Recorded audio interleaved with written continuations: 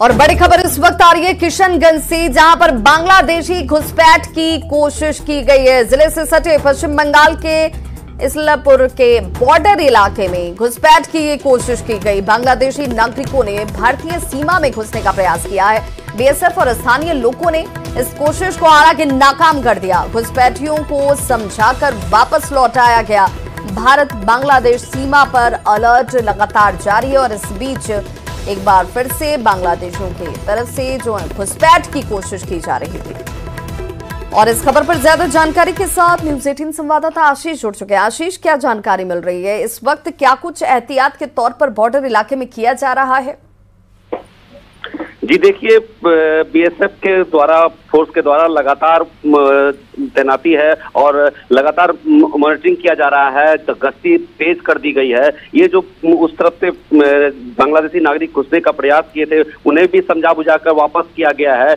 Local police और BSF दोनों इसमें भागीदारी होकर समझा के, लोगों को समझा बुझाकर भेजने का प्रयास कर रहे हैं।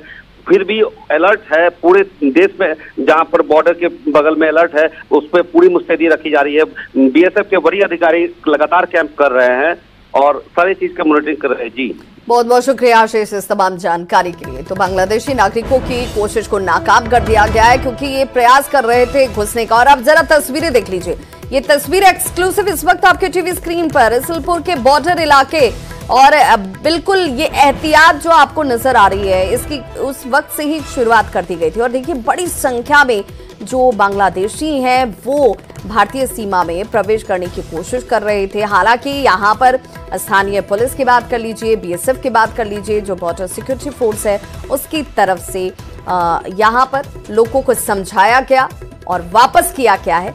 स्थानीय लोग जो हैं, उनकी तरफ़ से भी यहाँ पर बहुत इस पर संजीदगी दिखाई गई, गंभीरता दिखाई गई और लोग अलर्ट रहे हैं। उन्हें भी पता है कि ये घुसपैठ हो सकता है और बॉर्डर का इलाका है, इसलिए चौकसी ज़्यादा महत्वपूर्ण हो जाती है। बीएसएफ के तमाम और स्थानीय जो पुलिस है, उनको आप देख सकते हैं, जो इस इलाके में चहलकदमी करते हुए आपको दिख रहे होंगे। इसलपुर के बॉर्डर इलाके में ये प्रयास किया जा रहा था। बांग्लादेशी नागरिकों की तरफ़ से कि भारतीय सीमा में वो प्रवेश कर सके। हालाँकि लोगों की सतर्कता जो थी वो यहाँ पर काम आई है और फिर इन सभी को समझा बुझाकर वापस लौटाया गया है।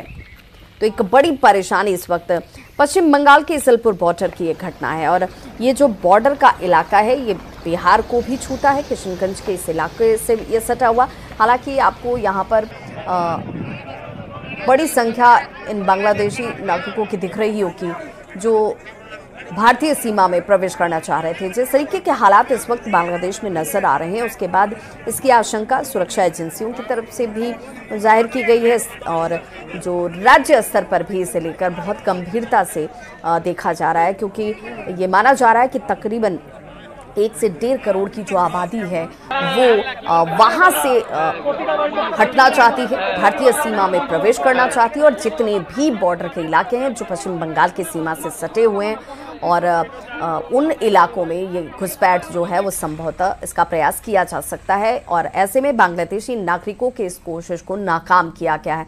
एक्सक्लूसिव तस्वीरें इस वक्त आपके टीवी स्क्रीन पर, हालाँकि यहाँ पर एहतियात के तौर पर देखिए सिर्फ़ ये जो आपको घेराबंदी नज़र आ रही होगी।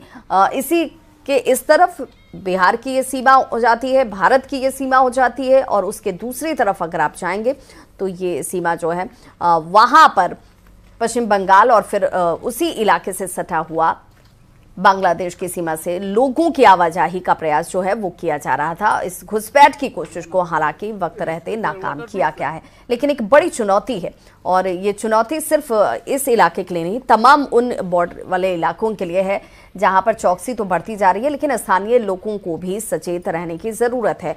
उन्हें भी आ, सावधान और सचेत रहना इसलिए ज़रूरी है क्योंकि चौबीस, आपको पता होता है कि आपके इलाके के लोग ये हैं या नहीं हैं। ऐसे में यहाँ पर देखिए बड़ी संख्या बांग्लादेशी नागरिकों की आपको दिख रही होगी, जो इस तरफ़ आपको दिख रहे हैं, लेकिन प्रवेश करना चाह रहे थे भारतीय सीमा में।